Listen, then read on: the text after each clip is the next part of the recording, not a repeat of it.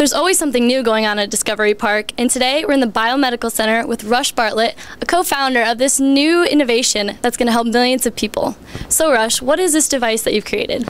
Well, what we've created is a novel injection platform. So with our device, you can store a drug in a solid form in one chamber, the liquid which normally dissolves that drug in a second chamber.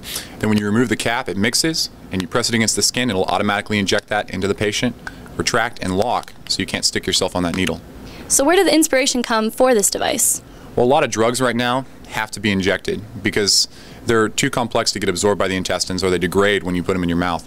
The, uh, the problem is that if you put, have to mix those manually, it's really tedious and complex and it's uh, very expensive to do it with another machine. So we invented a cheap way to do that um, that's very compact and effective. Our device has many competitive advantages over the current devices. Uh, first, there will be a great cost reduction to the drug companies who are currently shipping drugs in a cooler overnight. Uh, but also, more importantly, it'll be much easier for the end user to use our device. Uh, the mixing steps will be vastly reduced. Uh, the needle is hidden behind a sheath, which improves safety, uh, improves sterility, or keeps the needle clean, and uh, also reduces intimidation. Because many people are afraid of needles, especially if they're administering the drug on a regular basis. How did Purdue help you with creating this device? Well, I met Art Glabowski and Peter Greco in a program called BioMedship, and that's a program that pairs up an MBA student with a PhD student, and then you form a business around an idea that you think of during that um, class. After putting $30,000 of our own money into this, we think it's going to move forward. So we went around this past spring to a bunch of business plan competitions, basically what they do is they get investors in front of you and you pitch your idea to them.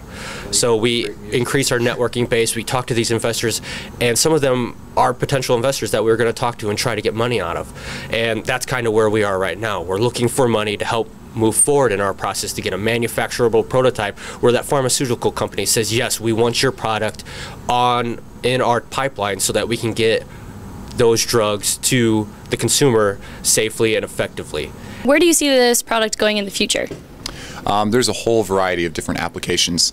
Um, we've identified over 200 different compounds and vaccines that could potentially benefit from using this device, um, especially in third world countries or in uh, other developing countries with limited infrastructure for refrigeration of those medical products. Um, as well as limited amount of medical trained personnel to administer a complex process of you know mixing and injecting um, without potentially spreading other diseases. Just being able to get our ideas out to the consumer, the pharmaceutical companies, and hopefully save one person's life has made this a great experience. At Discovery Park, these labs aren't just used for learning. They're used for real research for real people. I'm Allison Douglas for Boiler Bytes.